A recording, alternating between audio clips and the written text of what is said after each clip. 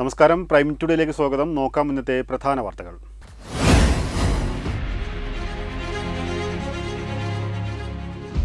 വർഷങ്ങൾ നീണ്ട കാത്തിരിപ്പിനൊടുവിൽ തിരൂർ പനമ്പാലം പാലം യാഥാർത്ഥ്യത്തിലേക്ക്.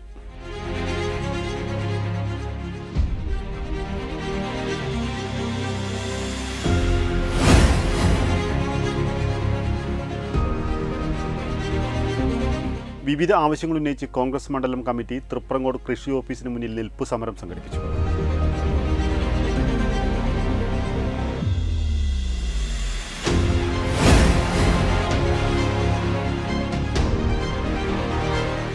Nipah virus. പത്ത് പേരുടെ പരിശോധനാ ഫലങ്ങൾ നെഗറ്റീവ് എന്ന് മന്ത്രി Veena George.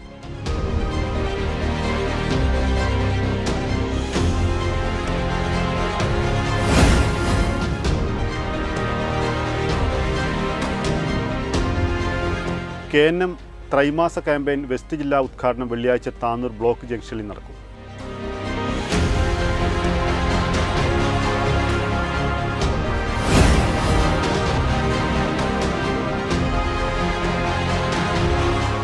മുഖ്യമന്ത്രിയുടെ നടപടിയിൽ പ്രതിഷേധിച്ച് താനൂർ മണ്ഡലം കോൺഗ്രസ് കമ്മിറ്റിയുടെ നേതൃത്വത്തിൽ പ്രതിഷേധ പ്രകടനം.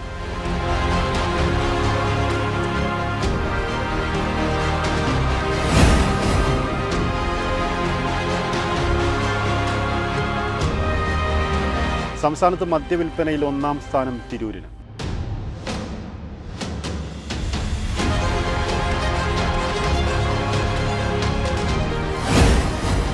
വിശദമായ വാർത്തകൾ. വർഷങ്ങൾ നീണ്ട കാത്തിരിപ്പിനൊടുവിൽ തിരൂർ പനമ്പാലം പാലം യാഥാർത്ഥ്യത്തിലേക്ക്. പാലം അപ്രോച്ച് റോഡ് നിർമ്മാണത്തിന് തുടക്കമായി. ബുധനാഴ്ച ചെറിയമുണ്ടം ഭാഗത്താണ് പ്രവൃത്തി ആരംഭിച്ചത്. പനമ്പാലത്ത് പുതിയ പാലം പദ്ധതി രണ്ടായിരത്തി പതിനേഴിലാണ് ആരംഭിച്ചത്. കിഫ്ബി ഫണ്ട് അനുവദിച്ച് ജില്ലയിൽ ആദ്യത്തെ പദ്ധതികളിലൊന്നായിരുന്നു പനമ്പാലം പാലം. നൂറ്റിനാല് മീറ്റർ നീളത്തിലുള്ള പാലം രണ്ടായിരത്തി പതിനെട്ടിൽ പൂർത്തിയാക്കിയെങ്കിലും അപ്രോച്ച് റോഡിനായി ചില സാങ്കേതിക പ്രശ്നങ്ങൾ ഉന്നയിച്ചതോടെ തുടർ പ്രവർത്തനം നിലയ്ക്കുകയായിരുന്നു. അപ്രോച്ച് റോഡിൽ തിരൂർ ഭാഗത്ത് സ്ഥലം ഏറ്റെടുക്കുകയും തുടർന്ന് ഭൂമി തരംമാറ്റലിനായി നടപടികൾ ആരംഭിച്ചു. ഇത് പൂർത്തിയായതോടെയാണ് അപ്രോച്ച് റോഡ് പ്രവൃത്തി ആരംഭിച്ചത്.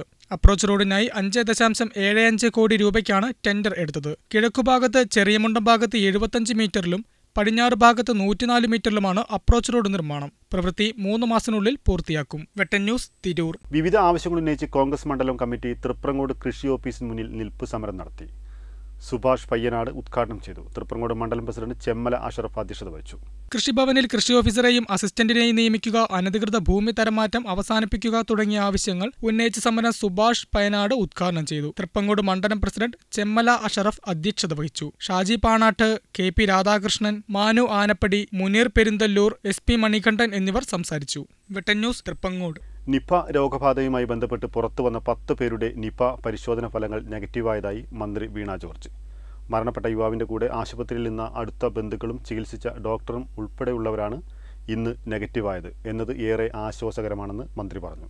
ഇതോടെ ആകെ ഇരുപത്തി പേരുടെ പരിശോധനാ ഫലം നെഗറ്റീവായി. ഇന്ന് പുതുതായി പതിനൊന്ന് പേരെ സമ്പർക്ക പട്ടികയിൽ ഉൾപ്പെടുത്തിയിട്ടുണ്ട്. ഇവരിൽ അഞ്ച് പേർ ഹൈറിസ്ക് വിഭാഗത്തിൽ ഉള്ളവരാണ്. ആരോഗ്യവകുപ്പ് മന്ത്രി വീണ ജോർജിന്റെ നേതൃത്വത്തിൽ അവലോകന യോഗം ചേർന്ന് സ്ഥിതിഗതികൾ വിലയിരുത്തി. ആകെ ഇരുന്നൂറ്റി അറുപത്തി പേരാണ് സമ്പർക്ക പട്ടികയിൽ ഉൾപ്പെട്ടിട്ടുള്ളത്. ഇതിൽ എൺപത്തൊന്ന് പേർ ആരോഗ്യ പ്രവർത്തകരാണ്. നൂറ്റി എഴുപത്തി പേർ പ്രൈമറി കോൺട്രാക്ട് പട്ടികയിലും തൊണ്ണൂറ് പേർ സെക്കൻഡറി കോൺട്രാക്ട് പട്ടികയിലുമാണ്. പ്രൈമറി പട്ടികയിലുള്ള നൂറ്റി പേരാണ് high risk കാറ്റഗറിയിലുള്ളത്.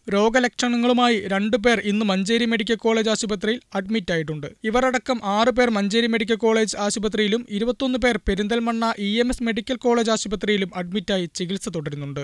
Vettan news Malappuram. K N M ത്രൈമാസ campaign west ജില്ലാ ഉദ്ഘാടനം വെള്ളിയാഴ്ച താനൂർ ബ്ലോക്ക് ജംഗ്ഷനിലെ സെലഫി നഗറിൽ നടക്കുമെന്ന് സംഘാടകർ അറിയിച്ചു.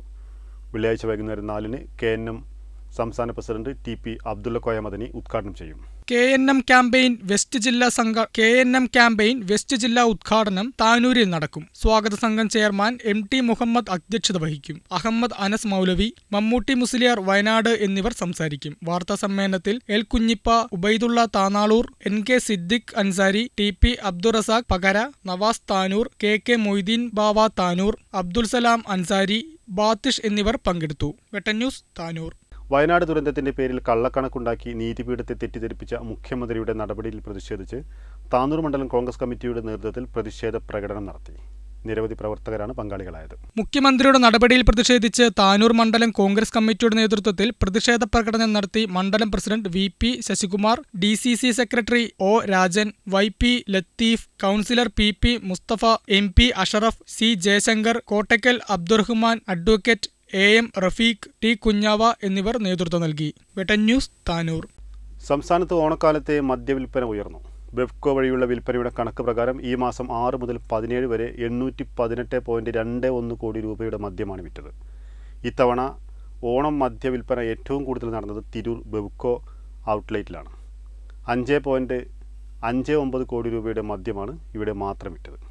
ഉത്സവ സീസണിലും സ്ഥിരമായ മദ്യവിൽപ്പനയിൽ ഒന്നാം സ്ഥാനത്തെത്തിയിരുന്ന തിരുവനന്തപുരം പവർ ഹൗസ് റോഡിലെ ഔട്ട്ലെറ്റിനെയും കൊല്ലം ആശ്രമം ഔട്ട്ലെറ്റിനെയും ചാലക്കുടിയെയും പിന്തള്ളി ഇത്തവണ ഓണം മദ്യവിൽപ്പനയിൽ ഏറ്റവും കൂടുതൽ നടന്നത് തിരൂർ ബെവ്കോ ഔട്ട്ലെറ്റിലാണ്. അഞ്ച് ദശാംശം അഞ്ച് ഒൻപത് കോടി രൂപയുടെ മദ്യമാണ് ഇവിടെ മാത്രം വിറ്റത്. രണ്ടാം സ്ഥാനം കരുനാഗപ്പള്ളി ഔട്ട്ലെറ്റിലാണ്. അഞ്ച് ദശാംശം ഒന്ന് നാല് കോടി രൂപയുടെ മദ്യമാണ് വിറ്റത്. മൂന്നാം സ്ഥാനത്തുള്ള തിരുവനന്തപുരം പവർ ഹൗസ് റോഡിലെ ഔട്ട്ലെറ്റിൽ അഞ്ച് ദശാംശം പൂജ്യം ഒന്ന് കോടി രൂപയുടെ മദ്യം വിറ്റു. കഴിഞ്ഞ വർഷം ഈ കാലയളവിൽ എണ്ണൂറ്റി ഒൻപത് ദശാംശം രണ്ട് അഞ്ച് കോടിയുടെ മദ്യമായിരുന്നു വിറ്റത്. ഈ വർഷം ഉത്രാടം വരെയുള്ള കണക്കുകൾ പുറത്തുവന്നപ്പോൾ മദ്യവിൽപ്പന കുറവായിരുന്നു. ഈ വർഷം ചതയ ദിനത്തിൽ ഡ്രൈഡേ അല്ലാതിരുന്നതാണ് മദ്യവിൽപ്പനയിൽ നേട്ടമുണ്ടാക്കാൻ ബെവ്ക്യോയ്ക്ക് കഴിയാഞ്ഞത്. ന്യൂസ് ഡെസ്ക് വെട്ടം ഇതോടെ ഈ വാർത്താ ബുള്ളറ്റിൻ പൂർണമാവുന്നു. നന്ദി നമസ്കാരം.